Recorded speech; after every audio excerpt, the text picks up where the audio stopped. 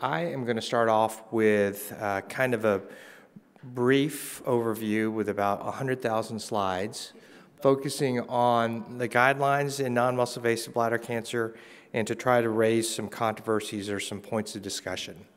And so we'll start off with beautiful downtown Nashville. I look forward to seeing all of you there at some point.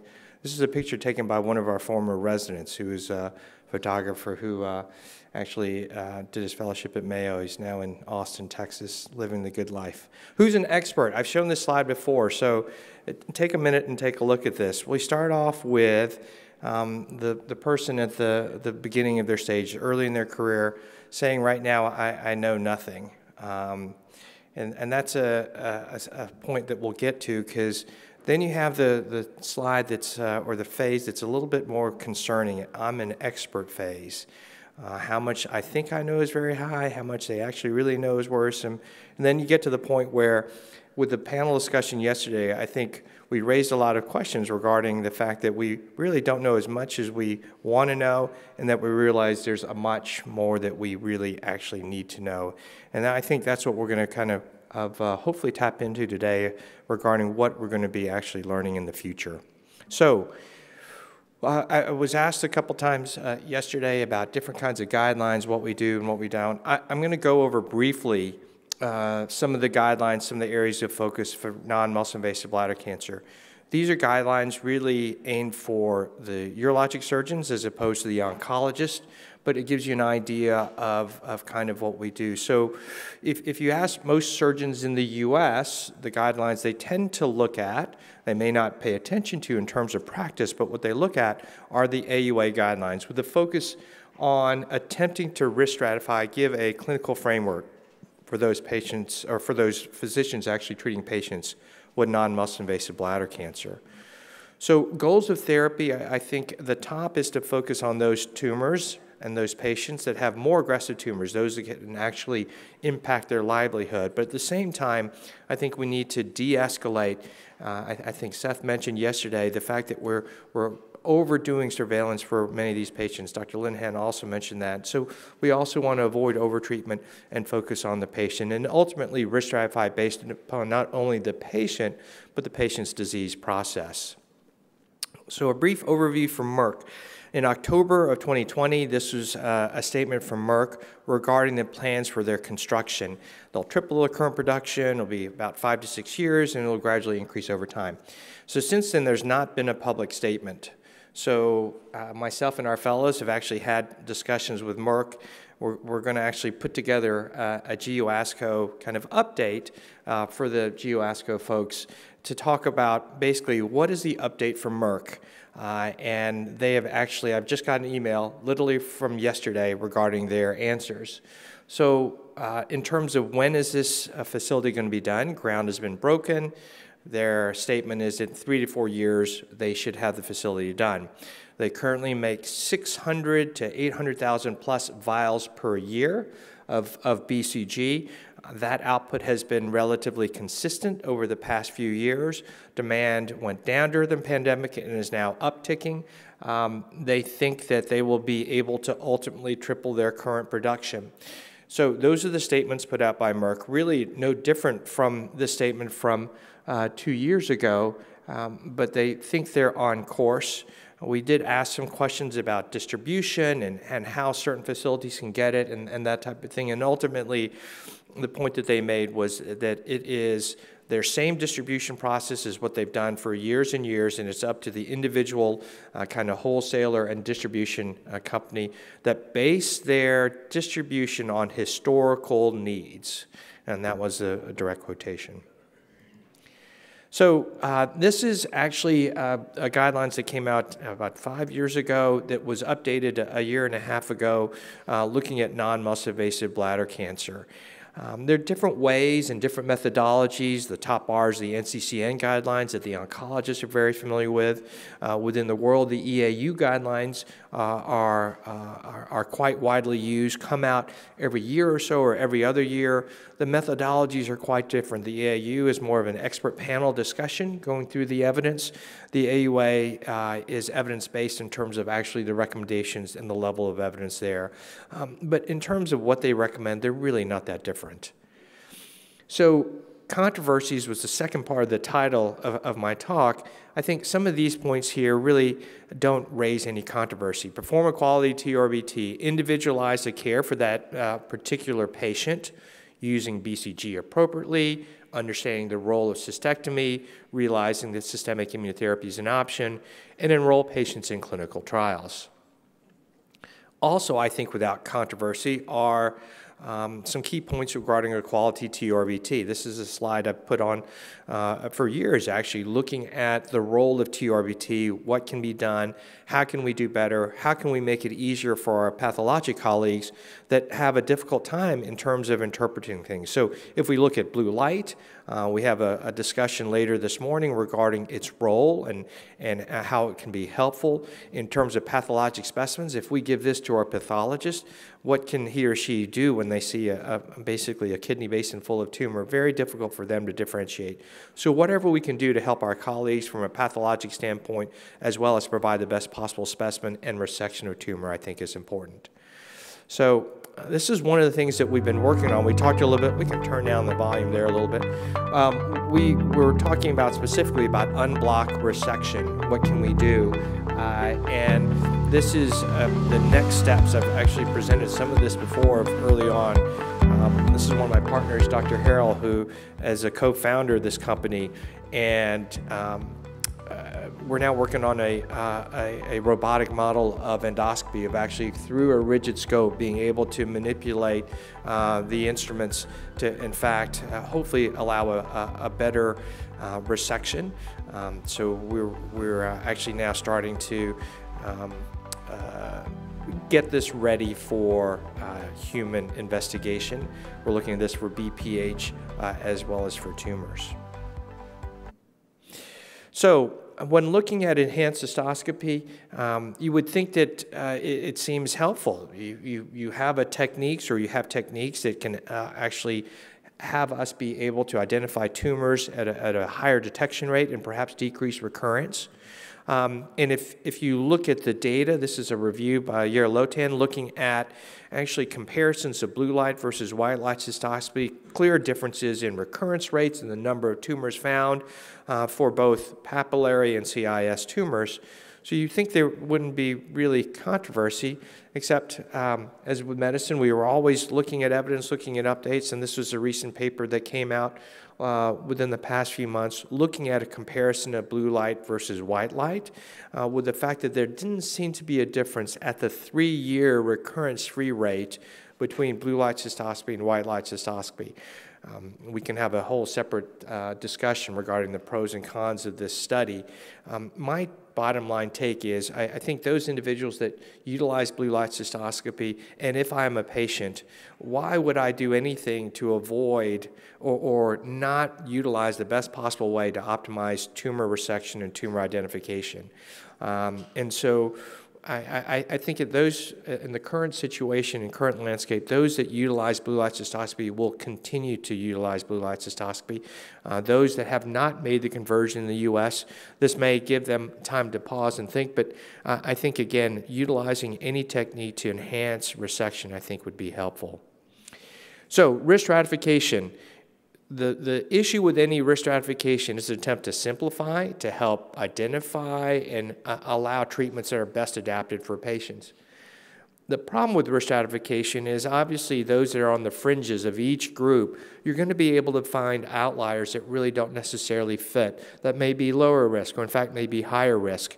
Um, but uh, in fact, in looking at this, and this was the first attempt, this was put out when we put out the initial guidelines in 2016, 2017, um, this really actually attempt to codify. We moved away from the index patient to this table.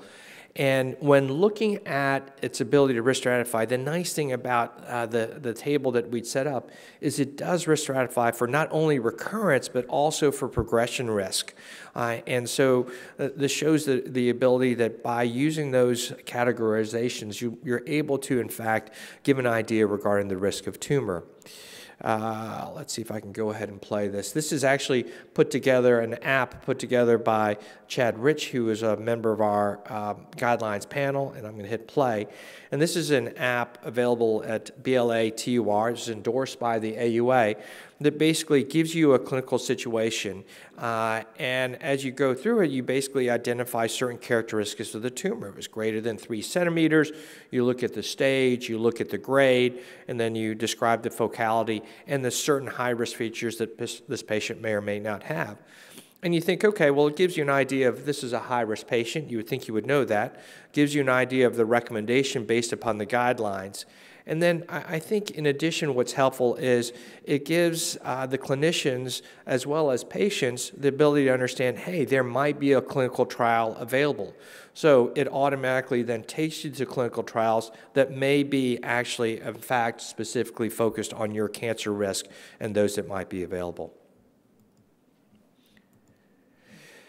So, uh, as the AUA goes, the EAU goes, and as the EAU goes, the AUA goes. There's a lot of overlap, and so the EAU guidelines look very similar to, to the US guidelines, although they have broken out the high risk into a, a, a, a very high risk group based upon certain risk factors age, multifocality, and size of tumors.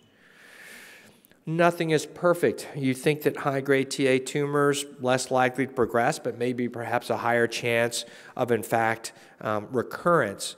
Uh, this is a, a, study from MD Anderson looking at the fact that actually high grade TA tumors, if they're unresponsive, they can be, in fact, quite dangerous. Uh, almost 10% can lead to or move to muscle invasive disease, and more than 10% require cystectomy at this MD Anderson series. Uh, more recently, there's been a, a controversy regarding the intermediate risk. Uh, I mean, to me, that makes a sense. You've, you've got a bucket with low risk, you have a bucket with high risk. The intermediate risk group you can have 10 categories, five categories, three categories. There's going to be a group that tends to be more of, of, of those that will have disparities within that individual group. Uh, and so this is uh, based on a collaborative review looking at different ways to break out intermediate risk category. Uh, is it helpful? Uh, is it, in fact, um, guide guidance in terms of therapy, I think it makes a lot of sense. The the evidence rigor regarding this is is not as high, um, and this will definitely need to be uh, validated in the future. But any way we can to help identify and and understand the best treatment for that individual patient, I advocate and I laud the issue becomes uh, I, I, think that we do need more evidence to support this.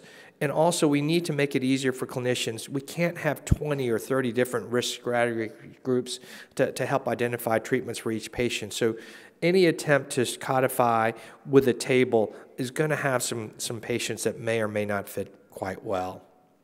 So, and there are different ways that they show treatment risk. These are the NCCN guidelines, which again tend to be used much more predominantly by oncologists as opposed to urologists. I think academic urologists look at the NCCN guidelines quite a bit. If you ask anyone in practice how often they use the NCCN guidelines, I think it would be the, the, the significant minority of patients or, or, physicians. So that was the NCCN guidelines. If you look at the AUA guidelines, this is an algorithm that's iterative. It takes you through treatments and how you respond and then where you go next. Let's talk about a high risk patient. So, this is a patient uh, with an eight month history of irritative symptoms. Symptoms uh, include uh, lower urinary tract symptoms, microscopic hematuria, and I'm going to underline smoking because one of the things that we, we won't really talk about during this meeting, but that I wanted to reemphasize, uh, is, is the fact that for these patients that have high grade TA disease, you're thinking about cancer, what to do you know, what we really need to focus and not forget about is the role uh, and the importance of smoking cessation. Uh, and so uh, there is some evidence that, that's out there looking at the role that urologists specifically have in terms of being able to influence at least an attempt to quit smoking. Uh, and this is actually a website um, looking at uh, possible ways to aid patients in that role. Um, this is a website we actually pass on to all our patients uh, that smoke, uh, and, and we need to do better. So, for higher risk disease, um, the, the very high risk disease and high risk disease, uh, the AUA recommendations and the EAU recommendations are quite similar. Uh, here are the high risk factors that I pointed out before. So, what about, and we touched on it yesterday regarding when no BCG is available. Um, uh, actually, uh, in the panel coming up, Dr. Tyson will have some, some case presentations that may hit on this. Uh, and there's going to be uh, discussions that will, in fact, follow regarding what they are, what they may be, uh, and what alternatives are there out there. But within the AUA, uh, the real focus when the BCG uh, shortage was really, uh, really much of an issue, and that's been cyclical. But a few years ago, an AUA white paper came out looking at the role of intravesical chemotherapy as a first line option for patients with intermediate risk disease. Um, and importantly, no single agent intravesical has been approved for bladder cancer treatment in decades. So, to individualize care, we have alternatives. Is there a controversy on what we do and what we use? Yes, because there's no standard regimen that's currently recommended. We know BCG is currently still being over and underutilized, and tumor heterogeneity is quite significant within the individual patient, within the population. So, what we choose and what we have continues to be controversial because we don't have anything that is clearly the best. So one option that people have discussed, uh, and uh, uh, Dr. Kates, Max Kates, has a trial that is going to hopefully be enrolling patients soon, is looking at the role of gemcitabine and docetaxel. And this is data focusing on those patients that were BCG naive. In other words, no exposure to BCG, some, a small percentage, uh, less than 10%, had previous intravesical therapy, and looking at the combination of sequential gemcitabine and docetaxel. And in looking at this, um, a recurrence-free survival at two years of two out of three, a significant response rate for these patients with higher risk disease.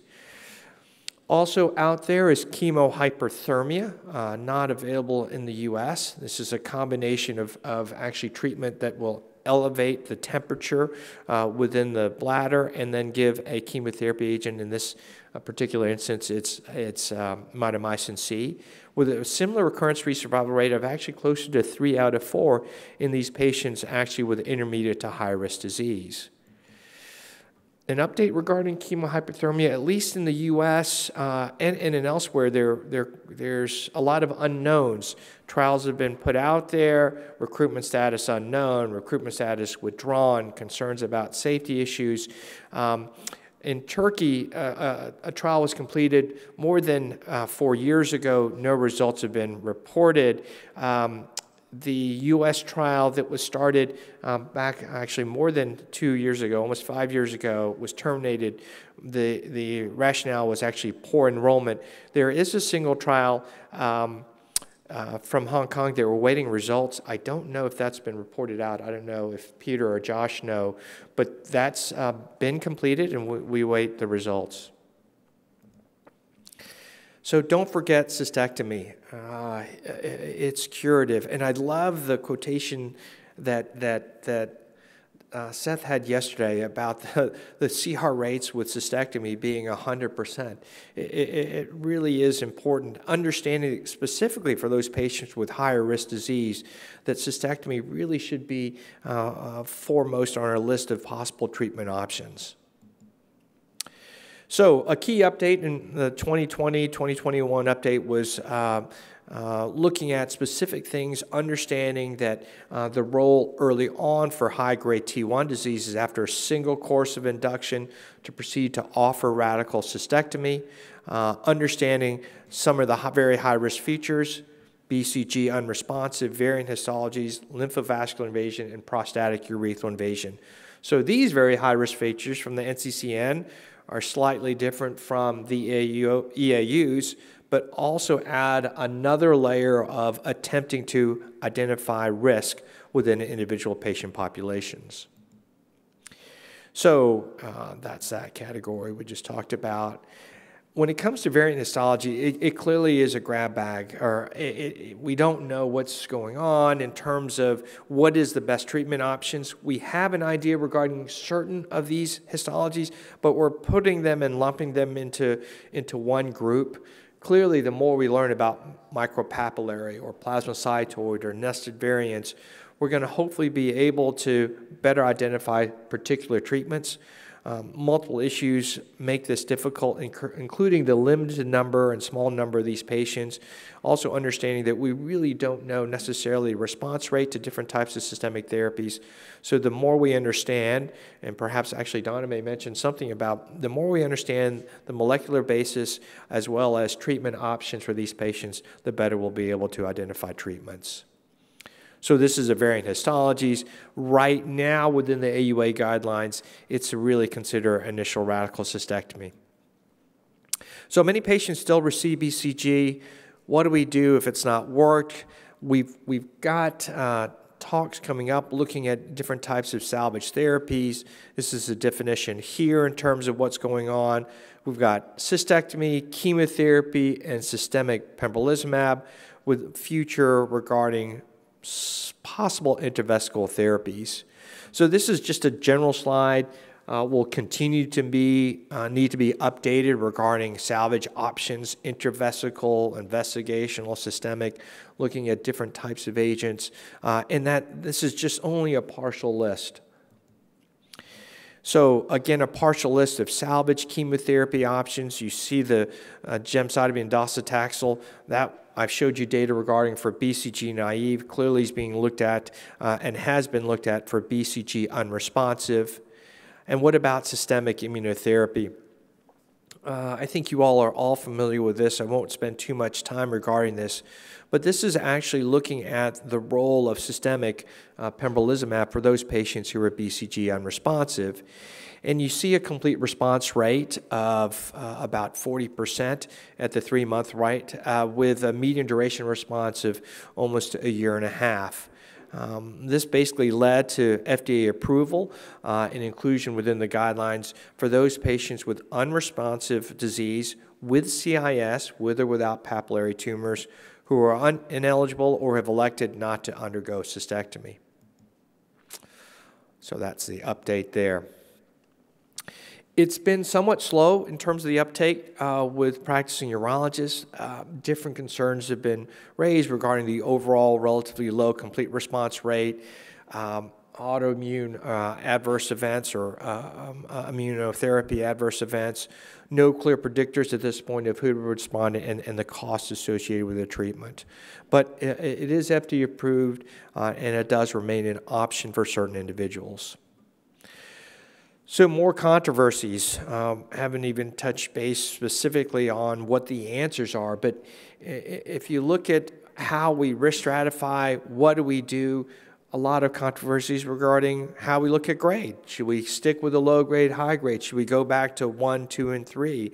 What about the intermediate risk subcategories? Clearly, that's the kind of the big group in the middle that, that different treatments may be better for those different individuals. Who are high risk, who are very high risk?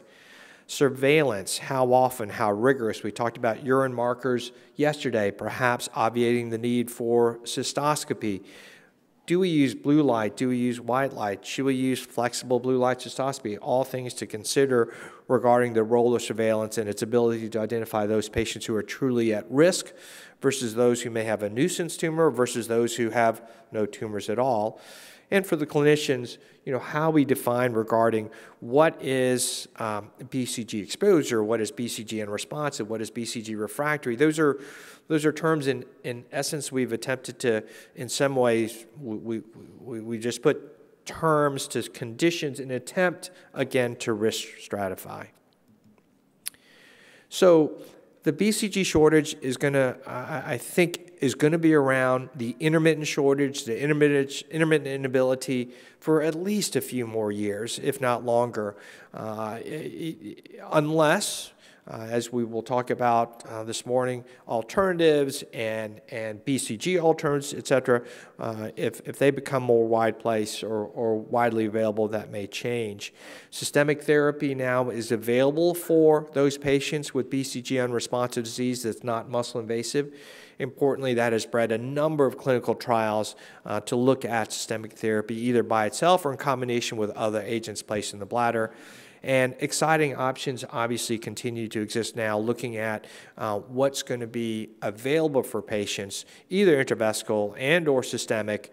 Uh, but then the question is, what will the FDA approve? I, have I had some slides going over those intravesical agents that have looked promising and have promising data that unfortunately haven't yet had FDA approval. Uh, and if they do become approved, clearly will give uh, a real alternative to our patients. Further improvements are going to need to be made regarding risk stratification. Uh, some of the talks this morning will really look at having a deeper dive into those um, patients in terms of their disease process and the risk that's involved. And clearly, it's an exciting time looking at um, diagnostics, risk stratification, uh, looking at the role of imaging, uh, as well as discussions we had yesterday regarding tumor markers, either liquid biopsy, quote unquote, urine markers, quote unquote, giving us an idea of truly uh, what's really out there in terms of being able to identify those patients who are at risk, those patients who may have a recurrence, or those patients where we can de escalate therapy. So, uh, I think this is my last slide looking at the importance of risk stratification, combination of intravesical or systemic therapies or them or each of those therapies used individually and then future improvements in terms of tumor resection and then identification of actually prognostic biomarkers. So I will end there.